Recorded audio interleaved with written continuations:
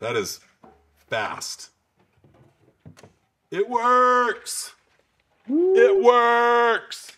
So we're just getting ready to pull this through and we're just gonna use our fish tape and the fiber. We're not even gonna tape anything because sometimes when you pull fiber and you've just got it taped on here, the fiber will actually slide back inside the jacket and then you go to cut it and the fiber's not there, it's all the way down here.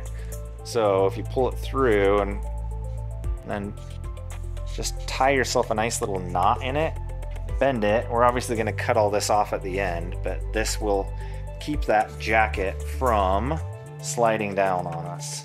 We're gonna have to do this twice because we've got another spot we've got to pull from once we get back here. So we're just gonna wrench on it. Anchors away. Okay, right here, there you go. Now it should pull pretty easy.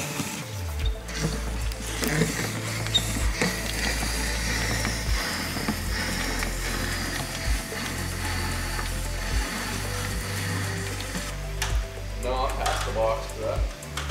Alright. Here I am.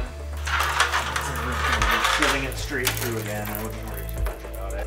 So we're gonna send it to you. See our conduit? Check that. Tell me when it gets to you. You got it already? Okay.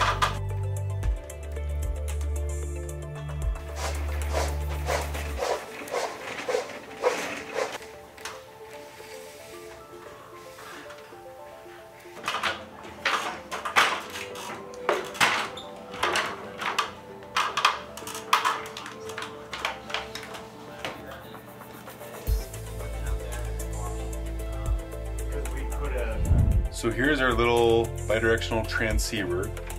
We're gonna just pop off one of these dust covers for port nine, it looks like, and then we're gonna plug that in. We'll plug it in and see if it works.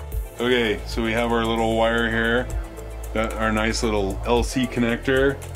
We're gonna plug that in, and I need to go plug it in the back end. Boom. I think it's gonna work. 10 gigabits. 10 gigabits per second. That's pretty fast. So, look at those. Gigabit?